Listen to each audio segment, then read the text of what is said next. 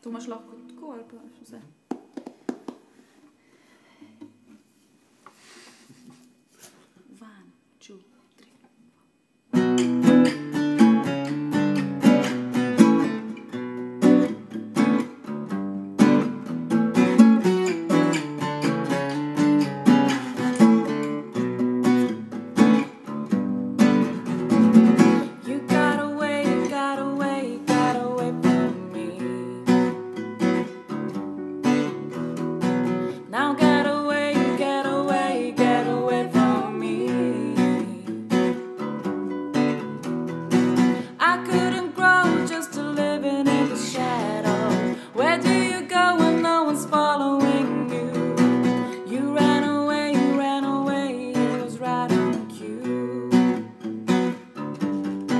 Shall I go?